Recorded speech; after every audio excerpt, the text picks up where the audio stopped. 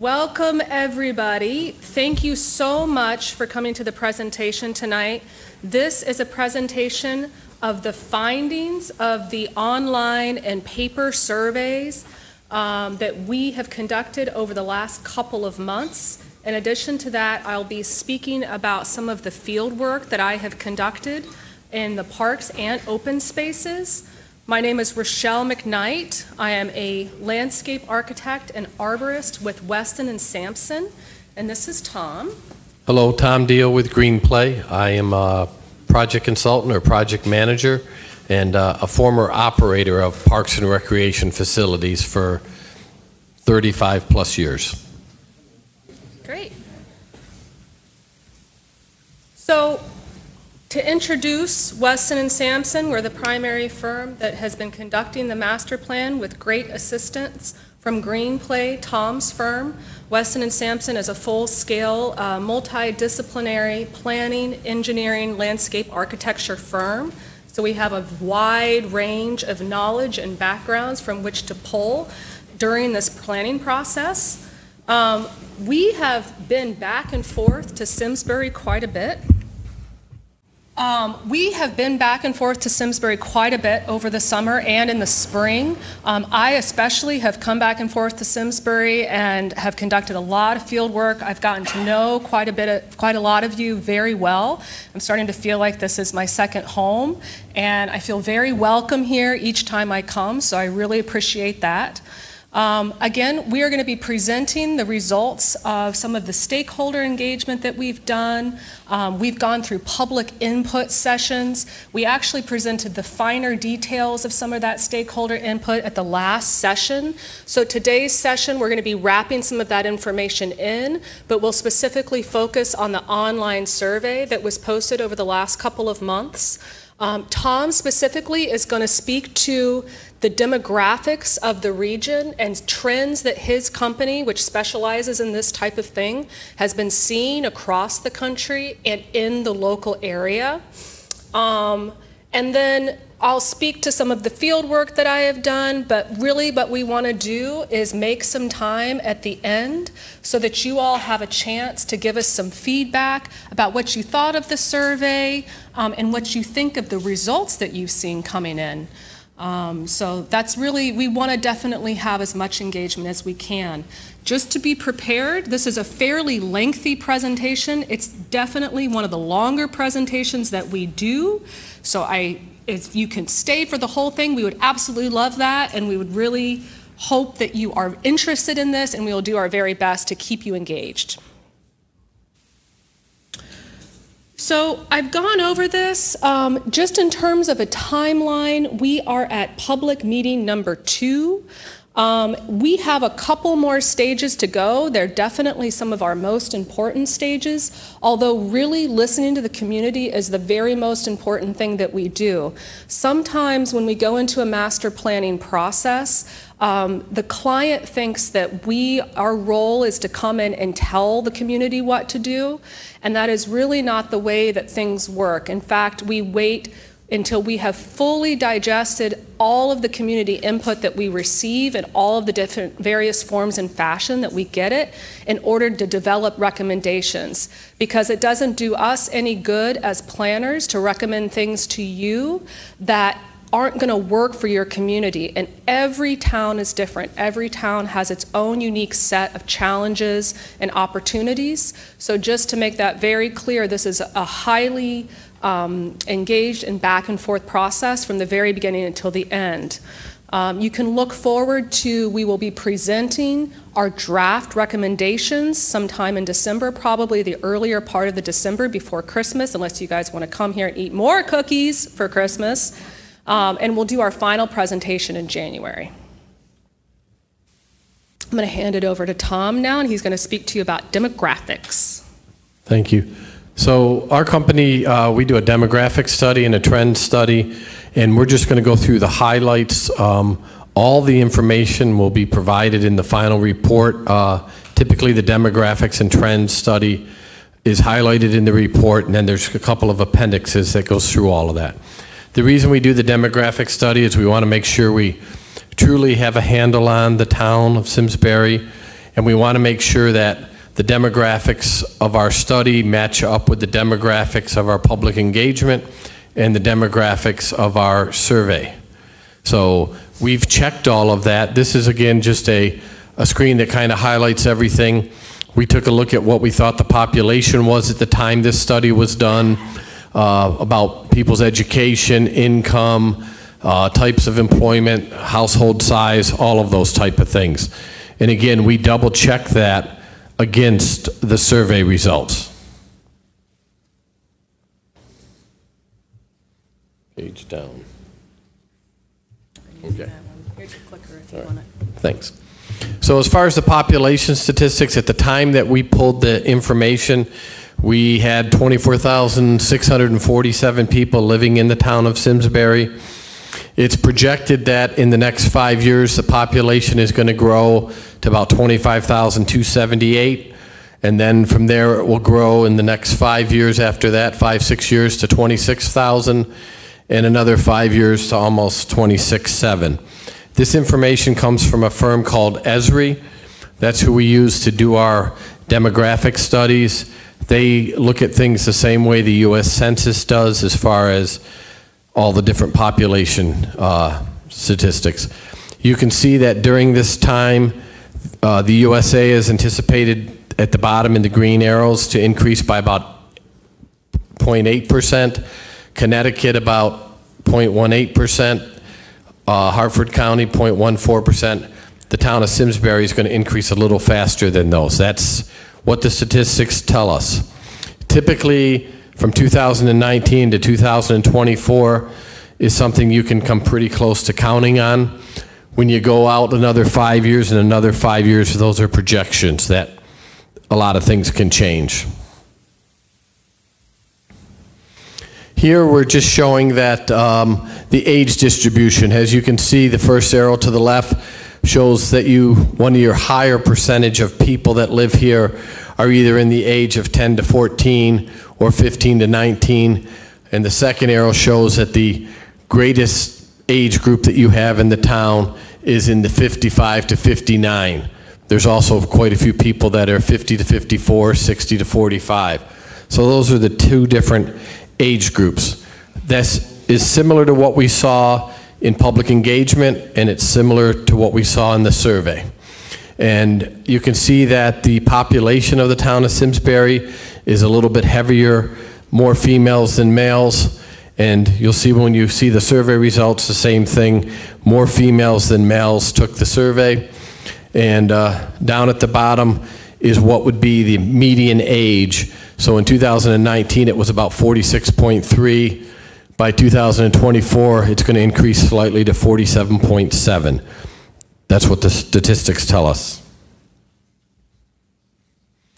This slide is just showing that we looked at the household data. The bottom left is the household income in Simsbury. Again, we wanted to make sure what we pulled in the demographics was similar to what we learned in the survey. So when everyone responded in the survey, that's very close to the same number. Uh, the median home value, the size of the households was 2.62 in the towns at Simsbury, very similar to what we got on the survey. Um, we do pull a report and it talks about how many people in the area might uh, need some form of assistance. It was very low, lower than the county, and approximately 16.4% uh, had some type of disability, and that is uh, slightly lower than the national average. But a lot of times we see that number in the 6 7% range. So it just tells us that there are some people in the community that do have some disabilities that need to be considered. So here we looked at employment. We were looking at uh, what the average income was, what type of jobs people had, what percent of people commute versus uh, drive alone to work. You can see you have quite a few people here that drive to work. It's not a, a huge commuter area according to the statistics. Um, a lot of people are educated. Um, there's a median age. There's approximately 9,296 households at the time we took this, and the majority of people are, are employed. And again, we're just checking these uh, demographics against the survey. This is another thing that we do. We take a look at uh, recreation trends and, and demographics and how much money people are spending in on recreation. This will be given to the town to be put up on the website so you could look at it closer. It's just showing that we looked at, the first column is on average, how much uh, a family spends, and then to the right would be the total of families in the area. Again, just a lot of information that we're just trying to confirm matches up with the survey. Here, this is showing that uh, in the town of Simsbury, the trends are one of the greatest or most important activity for fitness is walking. So quite a few people in this area walk for exercise. That was the number one thing. The second thing that was indicated was swimming, weightlifting, and yoga.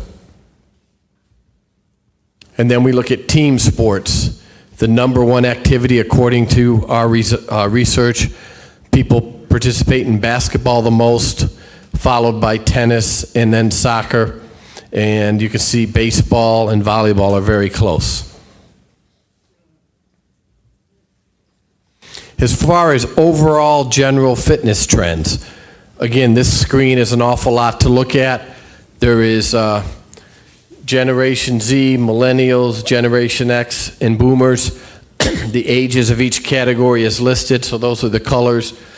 The takeaway from the slide is that outdoor sports and fitness sports are some of the bigger trends in the area.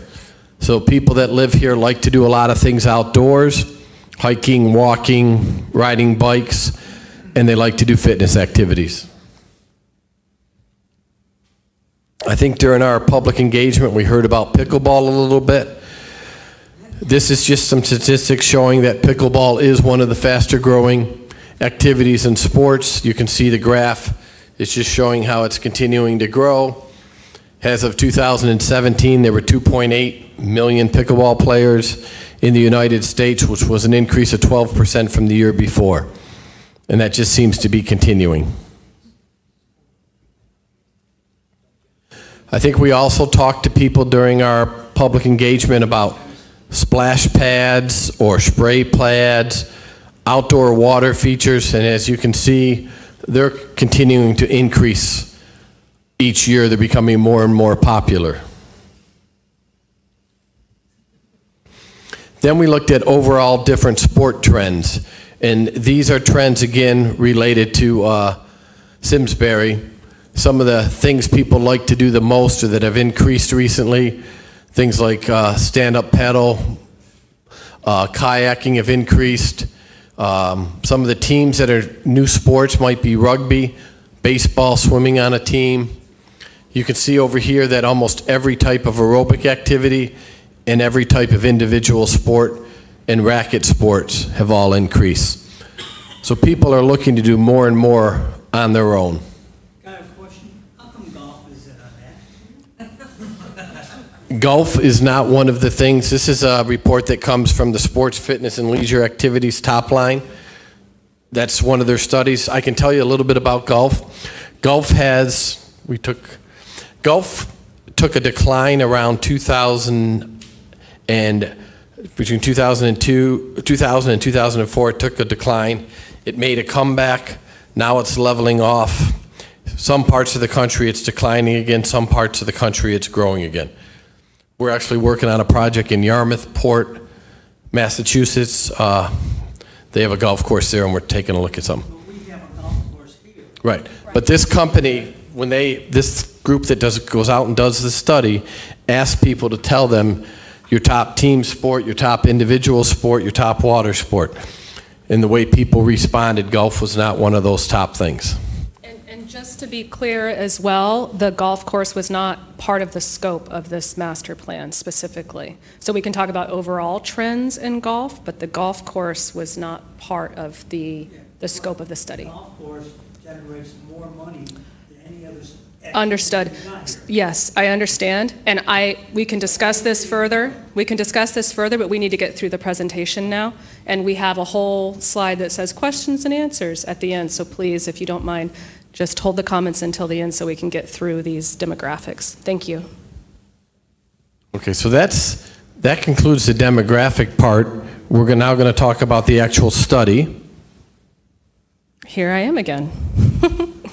so, we had a very large volume of responses to the online survey. We typically don't see this many responses, so kudos to you guys.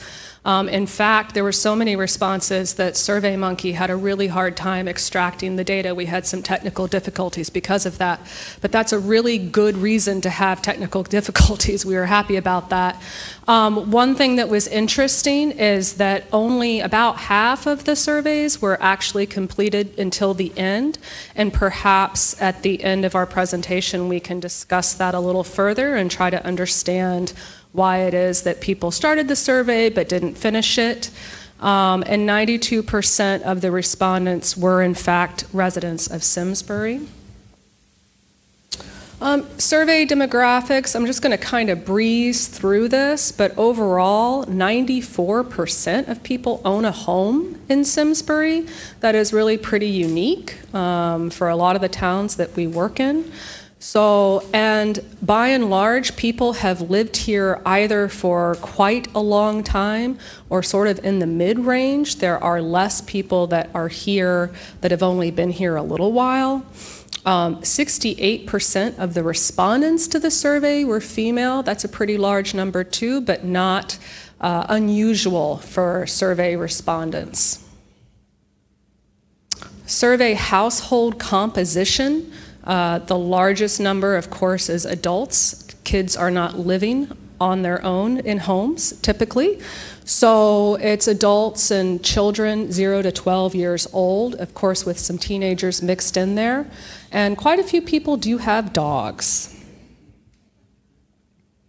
So, this is sort of an extraction of all of the charts that you guys saw when you took the survey.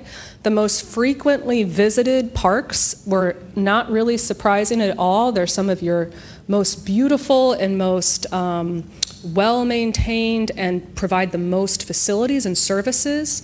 So that's Simsbury Meadows, Simsbury Farms, uh, Curtis Park, which is a large soccer facility that also has some passive recreational opportunities.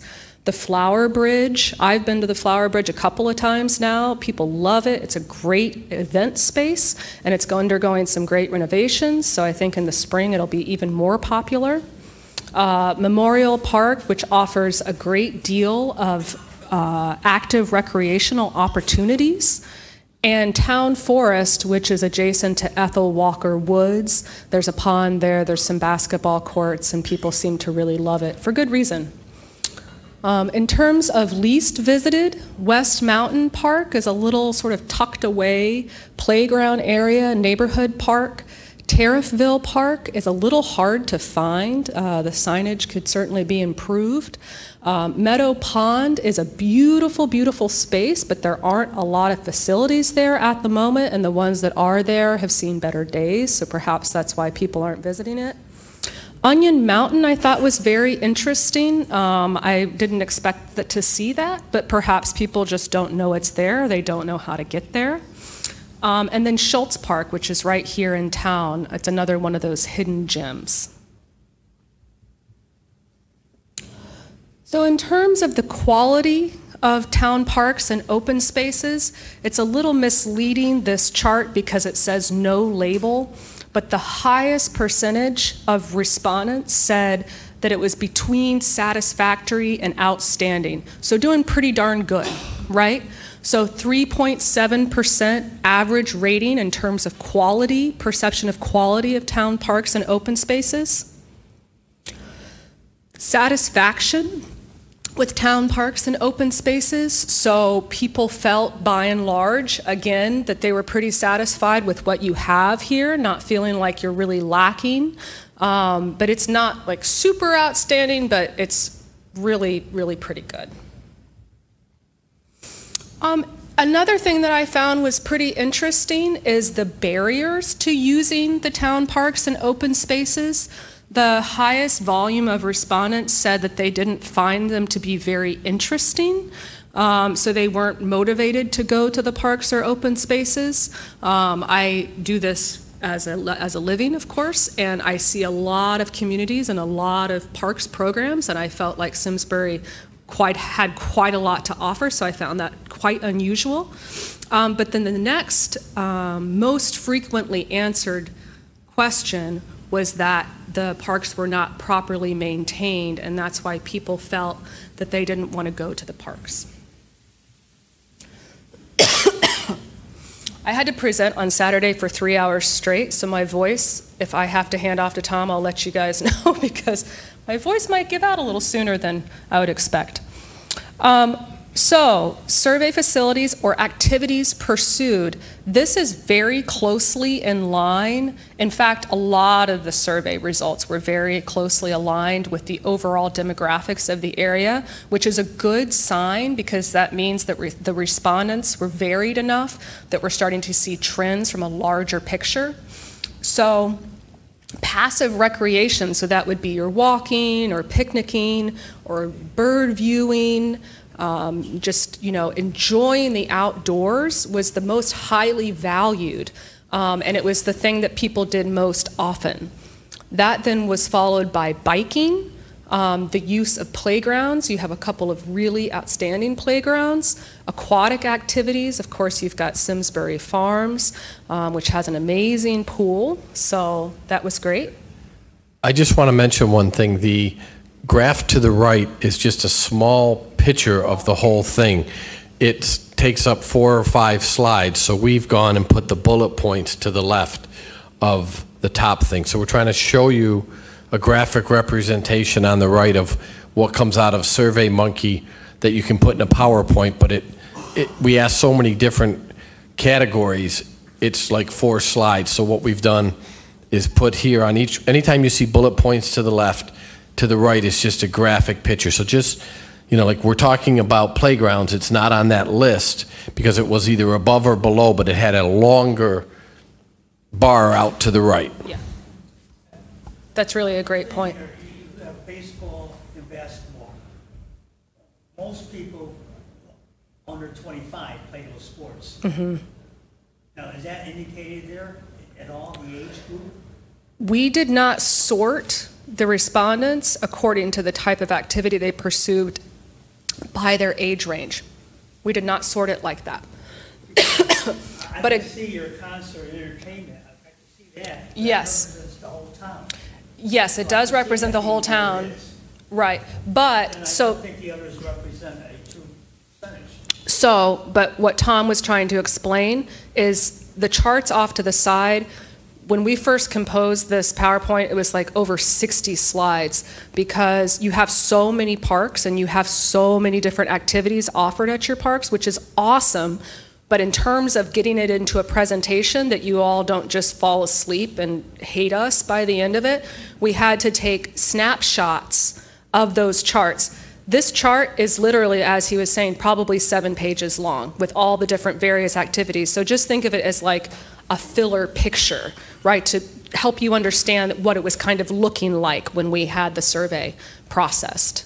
Does that make sense to everybody? Does everybody understand that? Thank you, Tom, for pointing that out. That's really important. Are you ultimately saying that the, on the left is really the top ones? Yes, those are what. The top ones. Those are the top ones.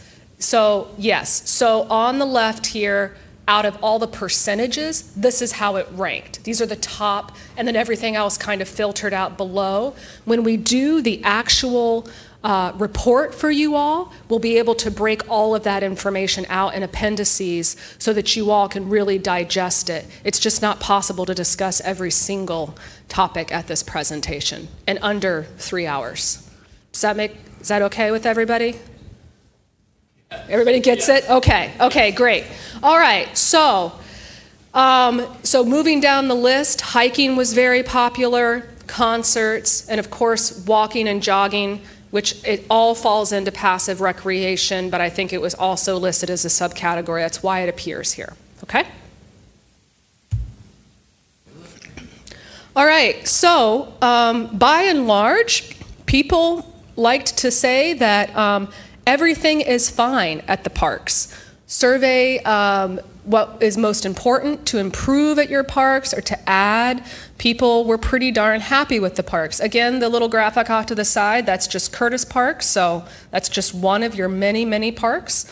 Um, the other thing people are very interested in improving is bathroom facilities, which makes a lot of sense. Um, you do have some great portalettes, but people would like to see some real bathrooms at the parks. Not surprising. Sorry, it's illegal to ask. it's not illegal. you get a ticket. Did you survey, uh? We did. We did. Yeah. And that is not, it was. It was not in the top, not not in the top tier, but it did. It did show up. It did absolutely show up. Um, what was more more prevalent is that people would like more spaces um, to sit down at and to be able to sit and have a picnic, right? So tables and benches. Uh, would you like to take over for a little bit? Drink my peppermint tea. So then we also asked about trail usage and, uh, you know, how often people were using the trails. There's a key at the bottom. Um, I'm not sure, we didn't pull this out quite the same way. We did not, but um, the largest box is monthly. So people typically use trails on a monthly basis. That's the highest uh, frequency at which people are using the trails. And then it's followed by weekly and then quarterly. Yep. So the majority of people that participated in the survey would use the trails uh, on a monthly basis. But there was a good number of people, as Rochelle just said, that are using it quarterly and weekly. We asked about survey satisfaction for the trails, scored a 3.3 on a 5 scale. So again, 5 is perfect, 1 is not good at all, 3 is in the middle, 3.3 is better, but you, there is some room for improvement. We asked about priorities for trails. And again, this is just a graphic representation. There's many pages of all of this. We went through and looked at all of that. The three top things that stuck out to us was the desire to connect the trails to neighborhoods and other resources, uh, more nature trails, and have as many trails along water, bodies of water as possible. Here we asked about barriers to trail usage, and there weren't quite as many barriers listed. You can see that trails connectivity, there was poor connectivity, signage issues were some of the top things. Other issues were trail condition, insufficient parking. Sometimes they're too crowded. We talked about uh, what type of future recreation programs and activities people would like to have. And again, that's just a representation. You can see it somewhat, it's alphabetical order, so there were many before and after. We pulled out the top responses. People would like to see more activities for soccer, more cultural activities, more baseball, I think someone asked about that, more lacrosse, and more swimming opportunities. We asked about open space priorities, same thing, just a picture of the graph. The top responses, people wanted to make sure that natural areas were preserved, uh, develop and improve the existing open space areas, pay attention to water-based recreation, passive recreation opportunities, and then take a look at indoor recreation so that it- everything doesn't have to be out in a park in a space. Maybe there should be some indoor recreation opportunities. Uh, I'm pretty sure it's getting to that time of the year now where maybe it's a little cold to go for a walk after work, or it might be dark after work. So we asked about uh, improvements for parks and open spaces. The top th- three or four, public access to water bodies, the amenities, signage, bathroom, drinking fountains, and lighting and security were the things that rose to the top. We asked people about how they value uh, the user fees. And you can see that the majority of people thought it was just about right. It averaged 2.9 on a scale of 1 to 5, with 3 right in the middle. So people did not appear to be upset with the user fees overall. legal question.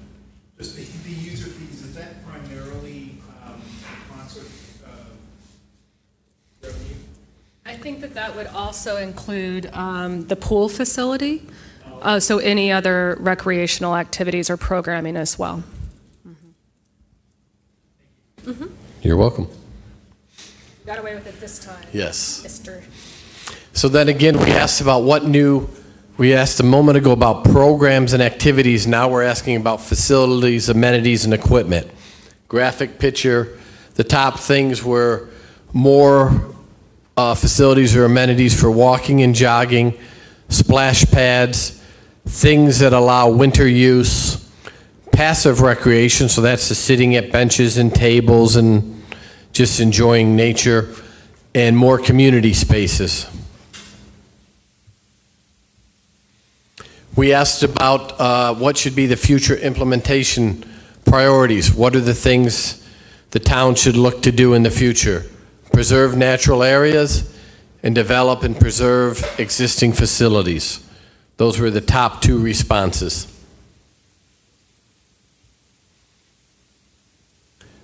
We asked about what type of activities people would like to do in the open space. Hiking, biking, and nature observation were the top three, which seems like the right things to be doing in those spaces. You guys do the right thing.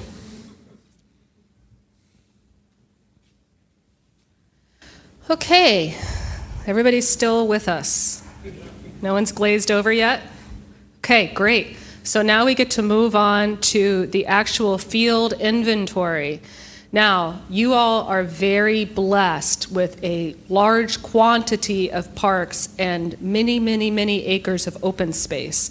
So I was able to go out in person and do a field survey of a lot of your area, not all of it, unfortunately. Believe me, I would have loved to have spent my summer on horseback doing nothing but riding the trails and the open spaces, but that is not my entire job yet, maybe someday. So, I did field inventories of all of the parks. You can see them all listed here. I don't need to list them separately or vocally, but just be assured that you've got that covered. So I broke these into parks with active recreational opportunities and parks with passive recreation emphasis, I could say, because there's so much to offer, and I wanted to be able to find a way to condense it and share it with you all. So I felt that in the active recreation areas, sometimes you're going to see an overlap where I thought you. I do go out and uh, do surveys of parks all the time. It's, it's a large part of what I do in my career. And so you'll see things that look like, okay, it's over here with your strengths, but it's also over here in areas of improvement. And that's because I'm comparing what I'm seeing to what I've seen in other communities. So there might be situations, maintenance of facilities is an excellent example, where there are certain parks that are not necessarily as well maintained as other parks due to resources or use or whatever it may be. But compared to what I have seen um, traveling around all over the, the Northeast, uh, it's pretty darn good. So that's why you might see a little bit of overlap. Um, the other thing I found is that there are facilities for a wide variety of ages. I think that this certainly could be improved, but a lot of times we go into communities and there's really nothing but uh, active recreational opportunities, which are geared more toward kids and teenagers and maybe young adults. And so you have a lot more opportunities for passive recreation and hiking and swimming and things like that, which can be fairly unique in a community. Um, the distribution of your parks are a real strength. You have parks all over the place, and they're pretty darn easy to get to. You can get there most of the time within 10 minutes via car. You can get on your bike a lot of times and bike to the park. Um, that's something else that we find very, very rarely. If you've seen me present at any of the other um, meetings that we've had, I have emphasized repeatedly that typically when we go into a community, they are really hurting for open space. And usually the demand for open space is just at the top of the list overall. That's all that anybody cares about anymore. But unfortunately, in a lot of these communities, they don't have any left. And so you're in a very unique position that you do have a great deal of open space. And at this point, you can continue to protect it so that you don't end up in sort of a crisis like a lot of the communities that we see are in. Um, so I commend you for that. Uh, the parks and open spaces are heavily utilized. I always saw people there. I always met people on the trails and at the parks. Um, you have a lot of passive and active recreational opportunities at all of the parks. You know, you could typically go there, and in some cases, Simsbury Meadows is a great example, or Simsbury Farms, actually both, where you can go and get on some trails if you just want to walk around, or you can actually go there and play a sport. The scenic qualities of the community are just beautiful across the board, and the facilities that you do have that have been recently upgraded are in excellent condition. uh, areas of improvement across the board, I did hear feedback and saw in some cases that some of the fields were struggling with uh, irrigation and drainage. So there's a lot of spaces that have been built on formal, formal, uh, former wetlands or just wet areas back before people knew to get permits for that kind of thing or knew that they shouldn't do that kind of thing. Um, the other issue that I saw is some of the playgrounds are very outdated. Um, some of the parking lots are gravel parking lots, and maybe they're meeting the needs for now, but not necessarily for anticipated demands. Lighting was something that came up over and over again in the survey. It was something that I noticed too. Um, I was here in the summertime, so I really wasn't out that late. Um, but certainly as it starts to get darker, I noticed that there wasn't a lot of lighting in the parks. Um, and accessibility, you know, as Tom was saying, there are people in the community that have disabilities. and um, I did find that there are a lot of situations where it would be difficult for people that are either in a wheelchair or have um, modal difficulties to get around the park. So some facility upgrades as well. The skate park definitely could use a little bit of love. There are some batting cages that have seen better days. And everybody's favorite bathrooms. Either they don't exist or there's simply a porta potty and not everybody wants to use a porta potty. Moving on to passive recreation. Um, some of this is a little bit of overlap. Again, the distribution of spaces for passive recreation is quite good. So in a lot of cases, there are bicycle networks that will at least get you fairly close to the park. The maintenance of facilities is quite good. There's a lot of care to uh, turf maintenance, trying to keep the weeds and the trees out of the bicycle paths. You know, I know that's very appreciated by the community. It's very, it's all overall, Simsbury is a very beautiful place. It's no wonder that people want to move here. Um, and there are quite a few pavilions and covered gathering spaces that people can go to to just sort of sit down and relax and enjoy the space. Um, areas of improvement are very similar to those with active recreation. That's partially because you know there's overlap in these spaces, that there's passive and active recreation at each park. But a lot of times spaces that are more designed for passive recreation just don't have um, sidewalks or pathways in them that go anywhere. Maybe they get a little bit around the park and then they just sort of die off. Um, lighting is always a concern. You don't want to necessarily light everything, but certainly those facilities that are heavily used, you probably do. Waste disposal, I found, um, could be problematic. It depended on the park. You know, some of the more heavily utilized and sort of eyes on the park type of spaces were very clean, but there were parks that I went to that people weren't visiting as frequently, and those parks were really being utilized and just people were just dumping their trash. There was one in particular, I think this is Tariffville Park, where there's problems with dumping. Um, so that's definitely an issue. The grills are out of date. That's really not abnormal for parks and open spaces. Um, nothing really unusual. So Simsbury Open Space, um, I, I, had a chance to get out um, with members of the community and tour some of these amazing open spaces. I did a collection of very large open spaces and also took a look at some of the smaller, more fragmented open spaces that you have around the town. So sort of a list here. I went out to Simsbury Farms, toured the local trails. The same thing with Simsbury Meadows. I went on those trails. Onion Mountain Park. Um, I had an opportunity to go running on some of your, your more heavily utilized pathways, so I had a chance to experience those. The sycamore tree area was absolutely wonderful. Um, in fact, when we came to, to interview for this project, the, um, the guy in our Connecticut office, the principal in our Connecticut office, was so excited to show us the sycamore. So that was the first thing we got to see in Simsbury before we even got the contract. So um, that's very exciting. Belden Forest, which just, which just got the um, old growth forest status, very, very cool space. What I thought was really interesting about Belden Forest was the prevalence of birds, um, which I didn't necessarily expect for a forest that was so close to commercial and residential areas, but there were a lot of birds in there, which was really cool.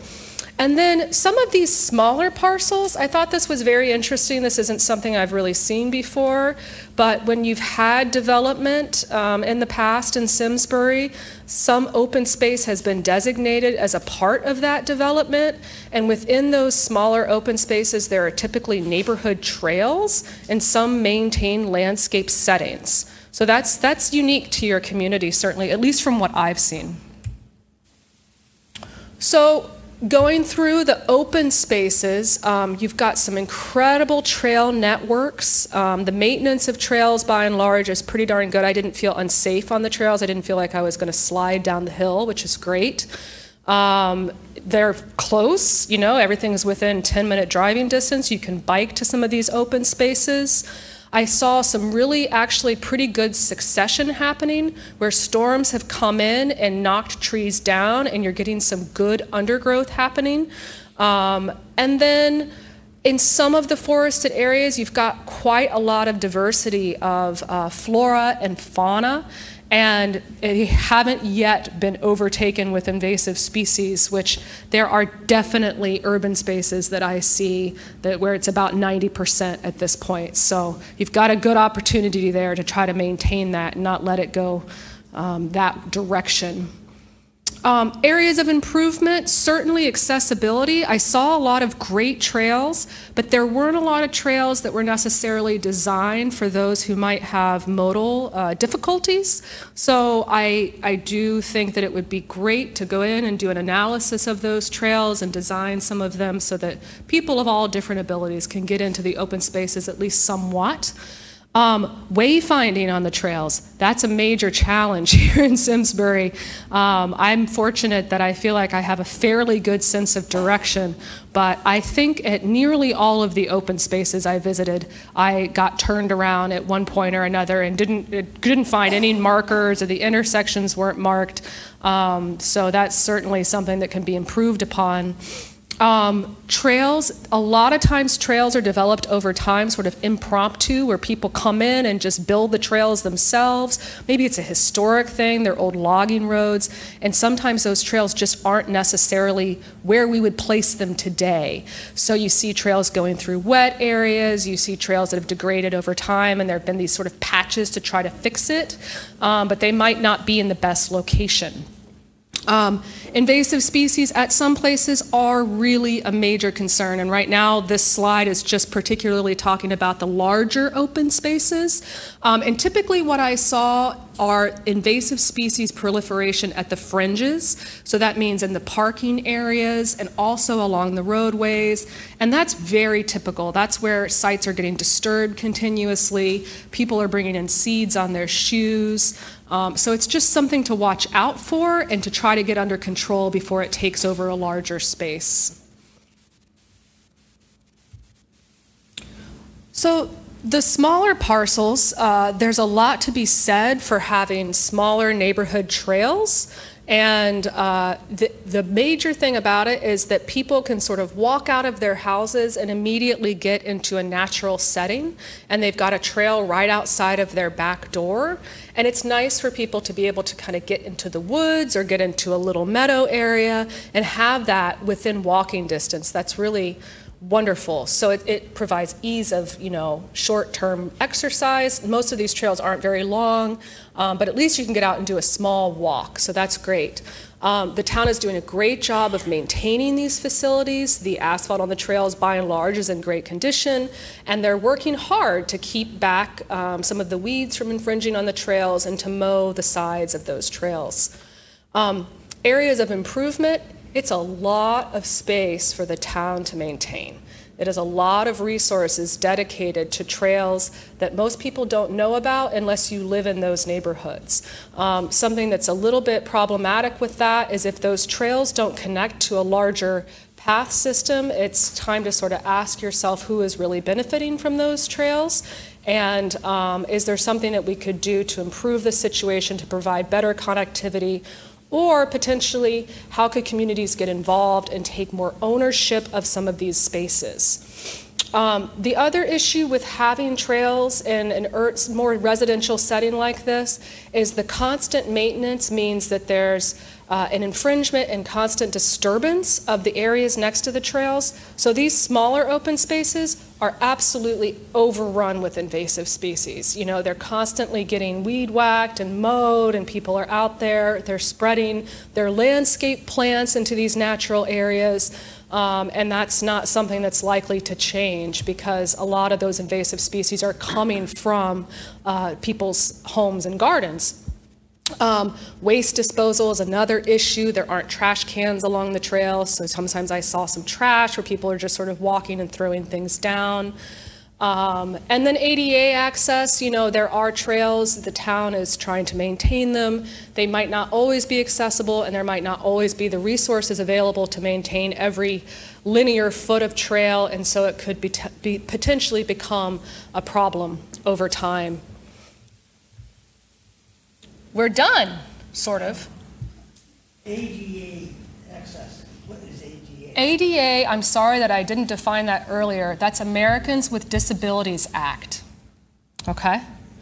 So that just means we have a whole set of design criteria for how to provide access to people who might be in a wheelchair or might have crutches, um, who might be, you know, missing limbs, a variety of conditions, sight, hearing loss, um, how to design those facilities so that those people can still access those sites. Okay? So this is just an overall schedule. We are at our findings presentation. It's practically November. Um, and in December, we're planning to come back, do our draft presentation, and in January, we'll do the final presentation. We discussed that a little bit at the beginning, but I just wanted to remind you of the phase of the process that we are in at the moment. Okay? Do you want us to use the microphone? Okay. So we're going to take questions, and if you raise your hand, I will walk over near you. I'm going to hold the mic because we've had them hijacked in the past, and then we never get to the second person. So uh, basically, I'm going to allow you to speak, and if we think you're getting off topic or taking too much time, we'd like you to speak for like a minute, minute and a half, the elevator speech type thing. If you ask a specific question, we can go back into the presentation. Uh, but if you start off on a tangent that isn't related to what we're talking about or go too long, I don't mean to be rude, but I'm going to move on to the next person so everyone has a chance. Okay. We're going to go right here. You have a question? There was a question earlier about the scope of this particular plan. Can you just identify for the audience exactly what was included in the scope and what wasn't? Sure. So the scope was quite broad. Um, however, we were tasked with doing sort of an overall inventory of the open spaces and parks. So we weren't tasked with necessarily specific parks or open spaces. We needed to be able to spread ourselves well enough around so that we were able to get a broad sort of bird's eye view of Simsbury um, and not get lost in the details of each individual park. Um, in terms of parks that were included versus not included, I, I believe the golf course was not included because of the private-public partnership at the park. Um, and we were tasked strictly with those spaces that were maintained by the town exclusively and that are funded by the town. So any open space that was private, we were not going to go in there and take a look at it. Any state park, we are not going to go in there and look at it. We'll look at it sort of like overall to see how they connect to other systems, but we had to focus on what was funded by the town.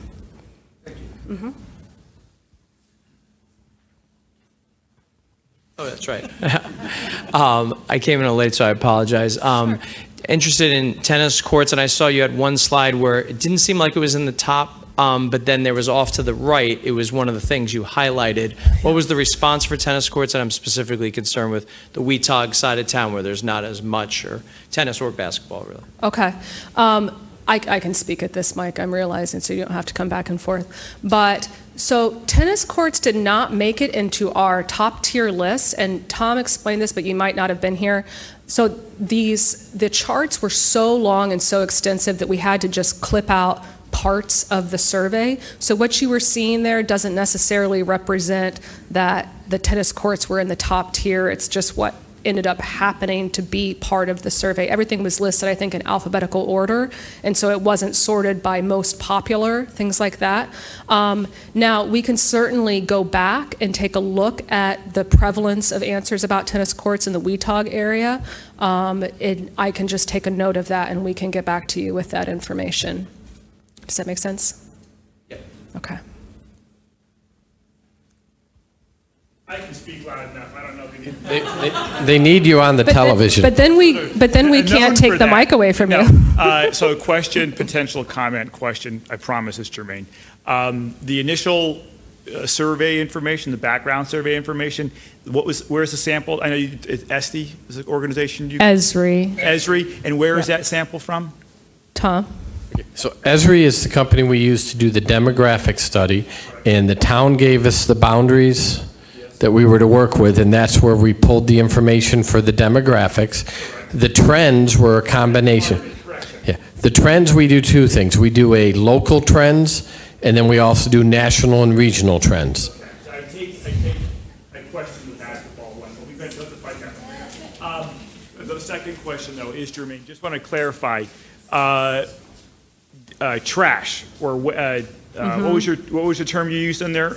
Waste disposal. Waste disposal. Is that dumping, or is that the need or lack of trash receptacles? Please clarify. It was the need or lack of trash receptacles. thank I did explore dumping a little bit because of that Tariffville Park example, but the survey particularly was about uh, trash receptacles. Do you co- Do you come up with the remedies for these problems at the end? Yes, we absolutely do, and the next presentation in December will be a discussion of our preliminary recommendations.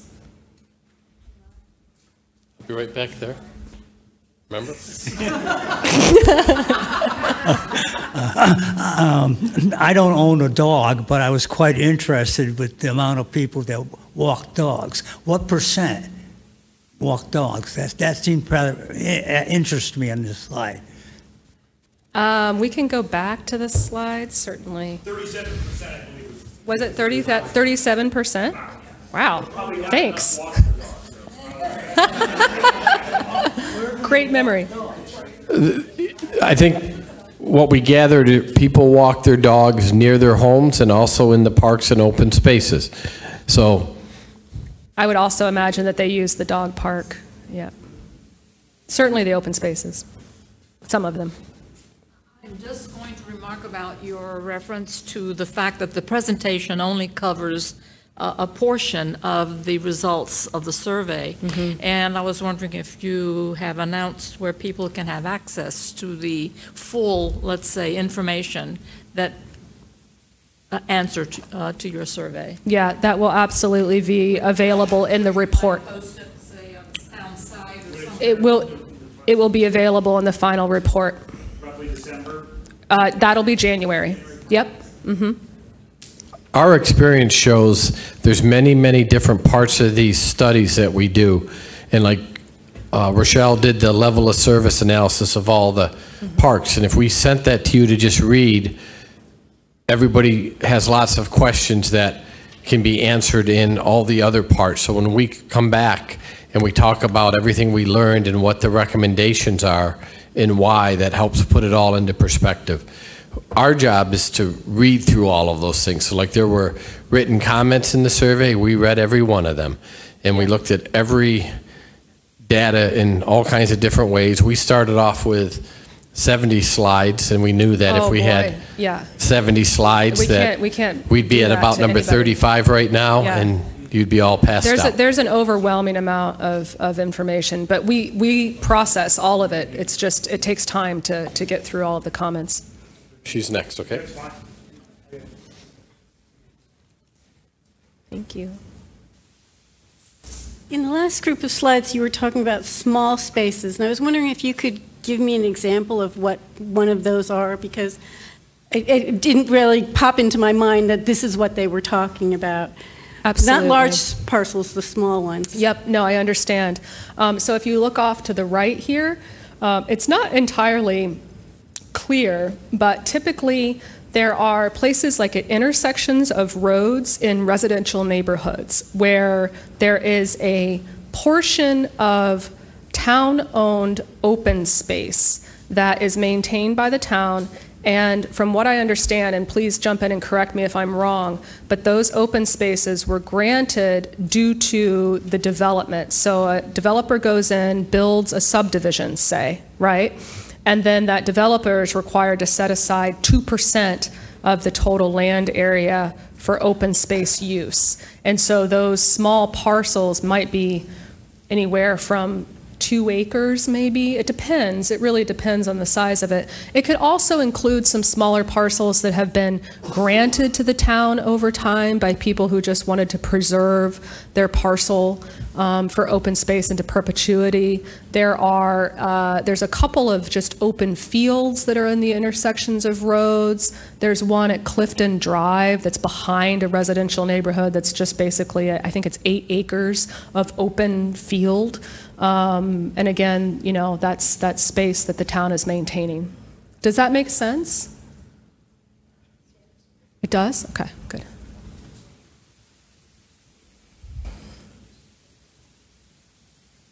You guys have been doing this kind of a survey with different towns, because that's correct. Yes. And what uh, you said only about 50% of the people that took the survey finished it. Is that normal for you guys to receive those results? I don't know that it's normal. Tom, do you want to speak to that a little bit more? Yeah, it it depends on how the survey is done, and we did a very large survey here, and we did it with SurveyMonkey, and um, it, typically SurveyMonkey surveys, that's about what happens. Um, We have some surveys ones. that um, a greater percentage of people take. Typically, when people don't finish the survey, it doesn't mean that they start and get tired and stop. It means they start, realize it's going to take some time, and they move around and answer the questions they want. If you could go back to that slide that tells the number of people that participated in the survey.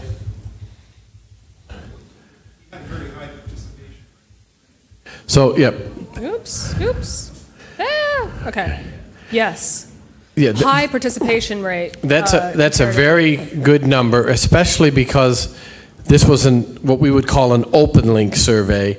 Anyone in the community could take it. It wasn't, in, you know, mailed to 3,500 homes and then Yeah.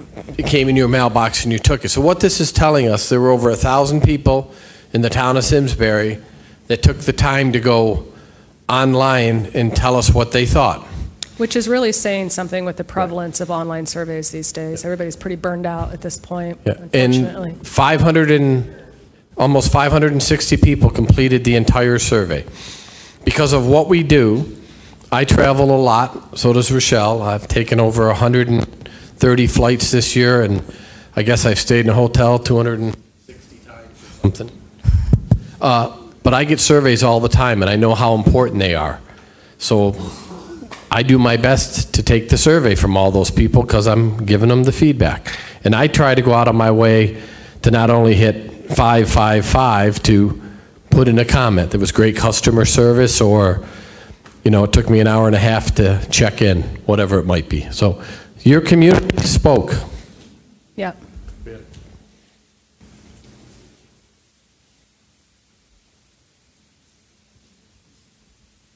I didn't see any questions having to do with biodiversity. Was that not something that was that was was that something specifically out of scope? Because when you're doing passive, being able to see birds, as you pointed out, are important. And, um, and some of the open areas that we have might be managed better for biodiversity, but it was not part of the questionnaire at all to be able to respond that way.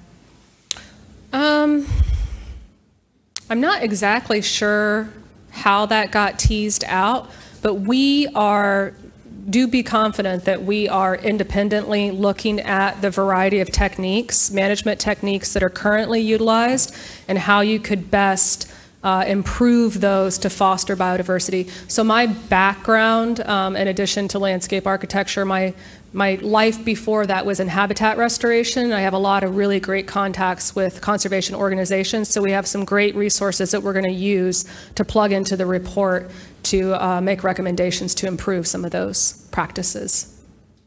Yep.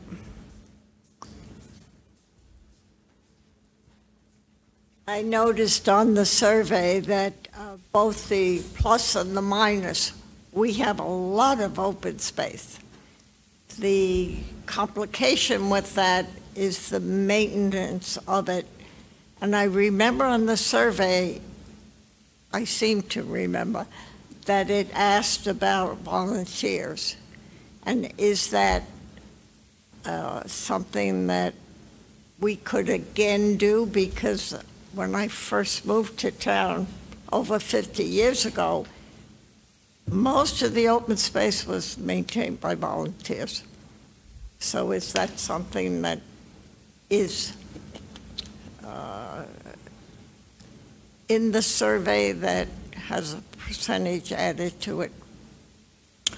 Um, it is not something that will be released as a survey moving forward. However, um, it's a big part of our planning process because we understand that it's just not possible with the resources that the town currently has or even that they might be projected to have to be able to maintain all of those open spaces. And so we have a whole section of the report actually, which is strategies for trying to obtain uh, more community engagement and the various resources in the region that might be able to assist with uh, the maintenance of some of those spaces. Yeah.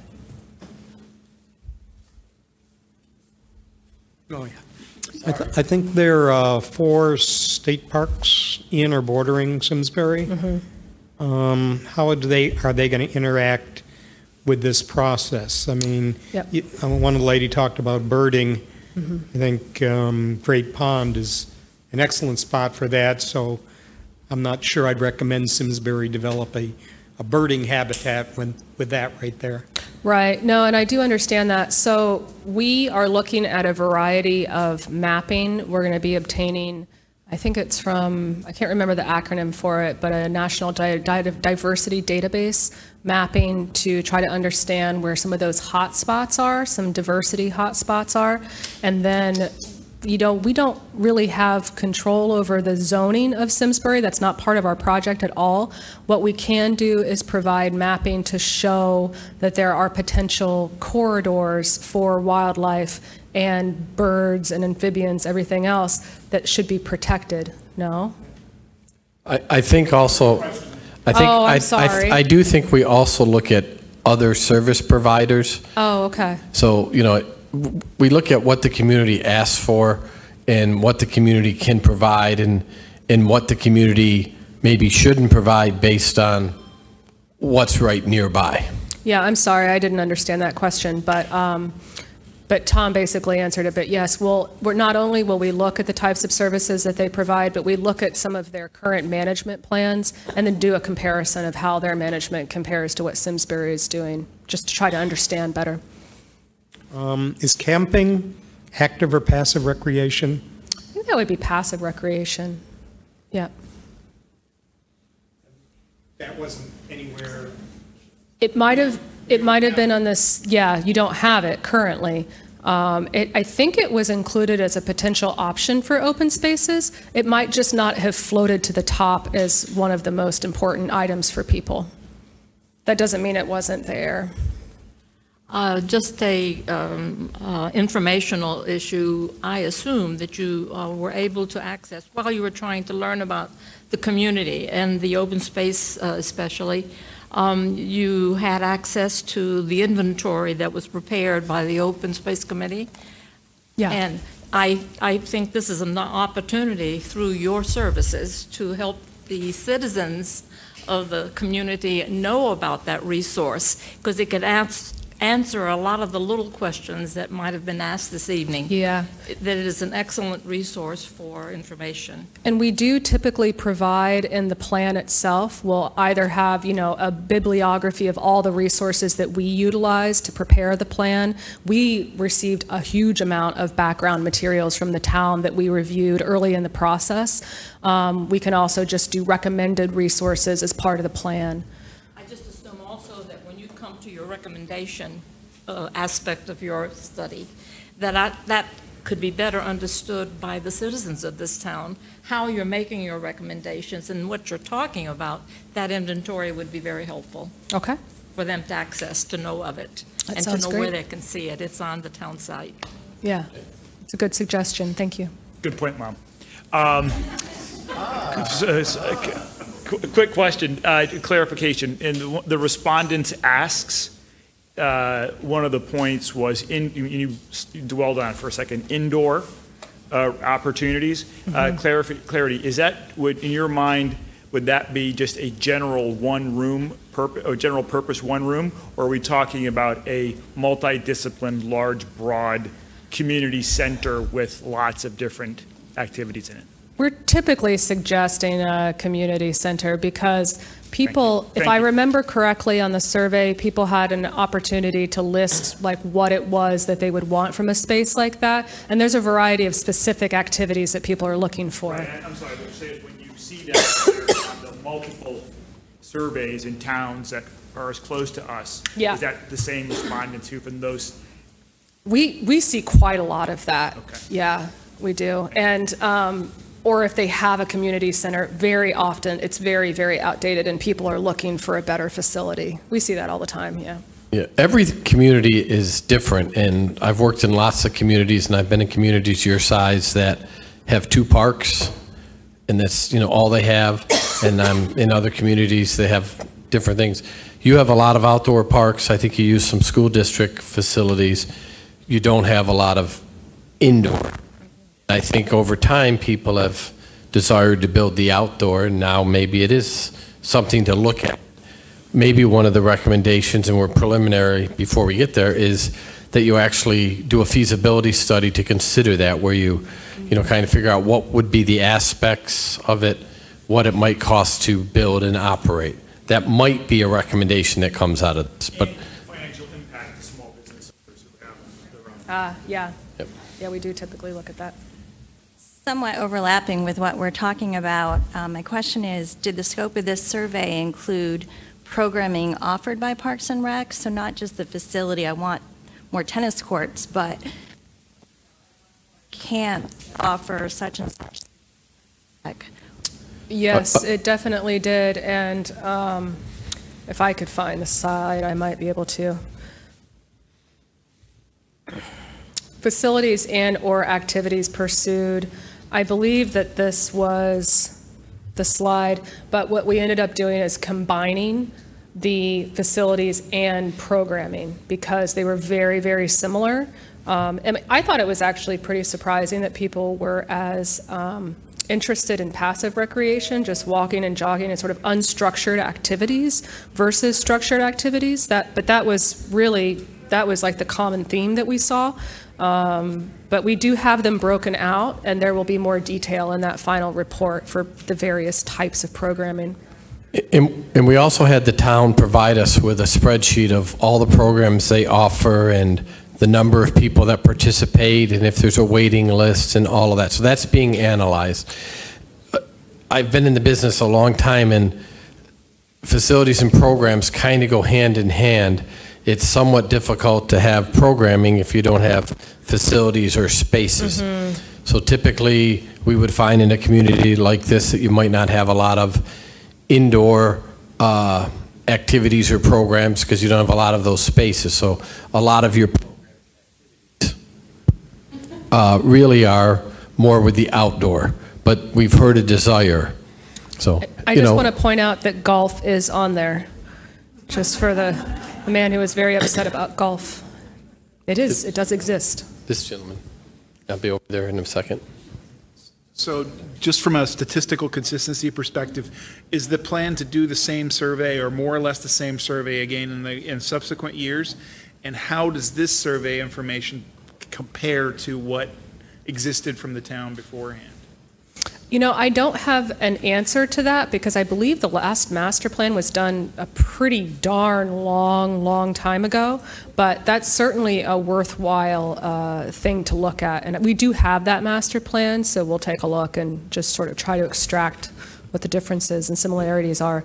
And then I don't think that future surveys would be identical to this because national demographics change over time.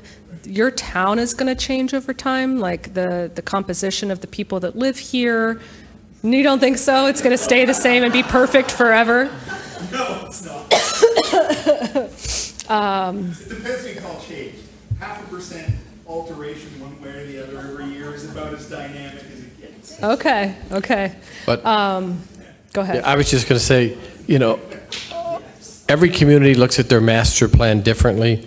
A lot of communities update them every five years, every 10 years, every 15 years. It just depends. Um, So there'll be a recommendation most likely that you come back and review where you're at and update it. Like typically, had a master plan been done in the last five or 10 years, one of the things we would have done is looked at all the recommendations that were recommended then and, and where are you at today? Yeah, but it was done so long ago, I, I think that we reviewed it, but it wasn't very relevant at this point. So I know I came in late, my apologies for that, but when you did the survey, is there any data out there around demographics and like we talked about the changing of our town and maybe some of the needs of the town? So like, I mean, needs of the services, like you have biking and playgrounds, so if we did it by age group, you know, are there things that seniors were looking for that maybe we don't have? The demographics don't ask that question because that's about what your community actually is. The survey asks questions. We would have to go back and try to look at the survey questions and match them up with the, so we'll have to see if we can sort that through SurveyMonkey. We might be able to sort that. The other thing that we will have a closer look at is all of the comments, because there's hundreds and hundreds and hundreds of comments, and we'll be able to glean some information from the comments as well, yeah. I kind of got a vague sort of questions. I don't know. With playgrounds, it, it says it's one of the things that we'd like here, and you it's mentioned it's one of the updated things that need updating too. Yeah. Uh, in your past surveys or anything, this is kind of an idea I had. Is there anything with uh, playgrounds about in like a natural setting, kind of a playground that happens like in the woods, and you use kind of like a ropes course type thing, or or like a treehouse kind of thing, Yeah. Um, incorporated as a playground? I I mean, absolutely, that's certainly come up as an, done? Because I know with snowboard Oh, yeah. parks anyway. Yeah. They have like natural snowboard parks. that, Yeah. uh, And I didn't know if there could be natural playgrounds. certainly, there's the Wild Center. Playground. and Right. Like. Absolutely. There's a Wild Center up in the Adirondacks. Tom, you're out west a lot. Do you see that out Yeah, west? th- one of the big things that's happening now is all the adventure activities, and so that's in our trends recommendations for things like that. Uh, We're actually looking at some facilities that are being built indoors, that instead of having a track that just goes around the biggest space, they're actually putting an adventure trail that goes throughout the building. It's kind of like bringing cross-country indoors. Um, We're seeing zip lines, slack lines, uh, playgrounds for older teens and tweens. We're also seeing uh, in some communities where there's an outdoor gym.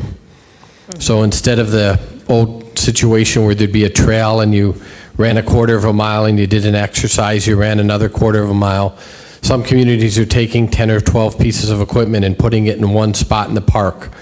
And people go there to work out and to socialize. Yeah, same thing for um, adult playgrounds, which are cropping up in different places, which I think are awesome, And by the way. That's why I was asking the question about demographics, Yeah. because in a lot of communities, I've noticed that there are some areas in which they're creating areas for seniors to do exercise outside. So that's why I was asking about that breakout. Yes, yeah. Well, we do need to take a loo- closer look at that. Everyone's taking a pickleball here. The other thing we're seeing, um, you know, is the popularity of mountain biking. So then constructing pump tracks that might be close to an outdoor space, um, that the kids can kind of learn how to mountain bike, and then having different grades of difficulty on the trail so the kids can kind of learn and progress as they go. There's a lot of just amazing recreation stuff, adventure stuff going on. Where were dog parks and all of this? Did we hear much about that? Um, the dog park was pretty limited to Simsbury Farms or Simsbury Meadows. I was just asking my co-colleague about dog parks, because in a lot of communities, we hear the need and interest for dog parks. And in a lot of areas, people have places to walk their dogs already. But we typically find that a dog park isn't for the dog, it's for the owner to go and socialize with other owners. And they get to know the names of the dogs, but they don't get to know the name of the people they're talking to. Uh, Yeah, do you have an inventory of private recreation facilities in town? Do we? I don't believe we have a full one. We'll work with the town to try to get that, because that's something we'll look at. I know someone mentioned earlier, if you were to do an indoor facility, that it could affect local businesses. And typically, when you get to thinking about that and you're doing a feasibility study, all of that is taken into account. And, and our research shows that if you involve those people in that actual process, their businesses typically flourish. Uh, There's many communities that a community center is built, and several more gyms open up, because people go to the town gym to get started, but then they want more, and they go to the local provider. Mm -hmm. They want to advance their skill levels, yeah. It does happen. Other questions or comments?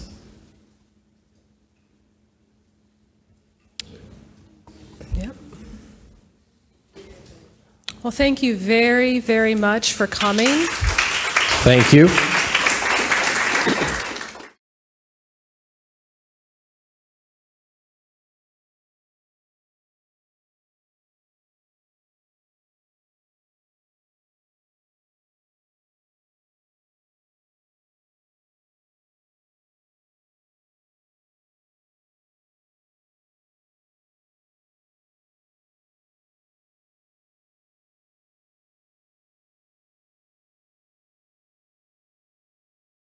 Funding for Simsbury Community Television is provided in part by contributions from viewers like you. Thank you.